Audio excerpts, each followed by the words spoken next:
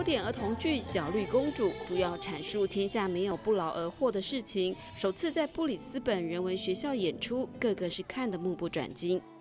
一个经验，因为让他们知道呃因果关系，然后知道说做好事就会有好的结果，做坏事他会得到他们应有的惩罚。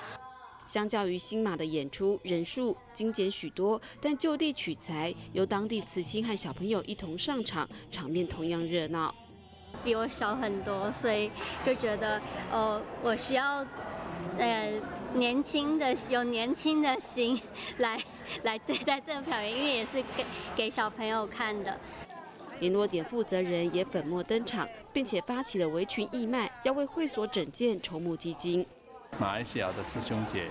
做了这个围裙，跟这一团，希望跟他们大家结缘。没想到这一团的师姑、是顾博跟小朋友一起又把这个捐出来。透过慈济科大亲善大使法心之爱从马来西亚传到澳洲来，也让这趟旅程增添美好的回忆。大爱新闻真善美职工张义川、陈秀珍，澳洲报道。